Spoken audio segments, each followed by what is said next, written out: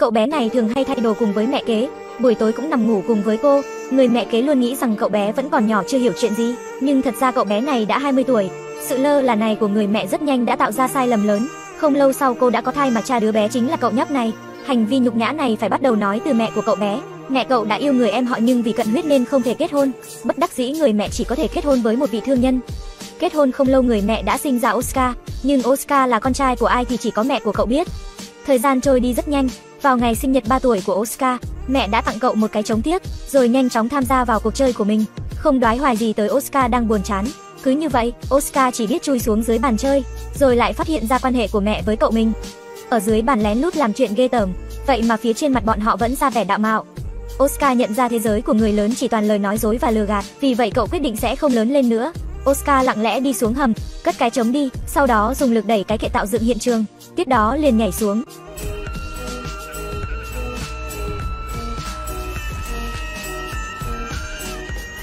Tới khi cậu tỉnh lại thì đã nằm ở trên giường, mặc dù không bị thương tới xương cốt, thế nhưng bác sĩ lại nói cậu không thể lớn lên được nữa. Nhưng ngoài ý muốn Oscar lại có một năng lực khác, đó là tiếng hét có decibel rất cao.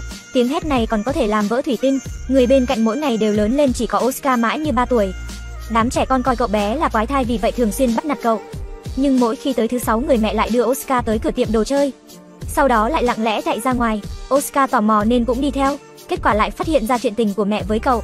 Vậy nên cậu bé trèo lên tháp chuông, vừa đánh trống, vừa hét lên, tiếng hét thậm chí còn làm vỡ cửa kính đối diện. Nghe nói người đàn ông này năm đó rất giỏi, ông bố đã dùng bức ảnh đó để thay hình của Beethoven trên tường, rồi còn cảnh cáo người em đừng đứng về phía Ba Lan. Không lâu sau đó mẹ cậu lại có thai, lần này trông cô rất ủ rũ không có tinh thần, không phải ngẩn người thì cũng là ăn điên cuồng. Hóa ra đứa bé trong bụng cô cũng giống như Oscar, không phải là đứa con của chồng cô. Đoạn tình cảm rắc rối này khiến cho người mẹ càng cảm thấy áp lực, thậm chí cô còn nghi ngờ Oscar không lớn được là do mình. Bởi vì áp lực suy nghĩ quá lớn cùng với sinh hoạt lẫn lộn, rất nhanh người mẹ đã qua đời. Trong tang lễ, Oscar mơ màng đánh cái trống mà mẹ tặng cậu. Cậu không biết là mẹ đã đi đâu, mọi thứ ở phía trước đều khiến cậu sợ hãi.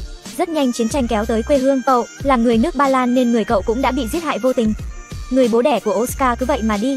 Ngày hôm đó bà ngoại dẫn một cô gái về nhà để chăm sóc cho cuộc sống hàng ngày của họ. Bởi vì xinh đẹp nên rất nhanh Oscar đã để ý tới cô gái. Bọn họ cùng ngủ cùng nhau, trêu đùa nhau, thậm chí còn không ngại ngùng cùng thay đồ trong phòng.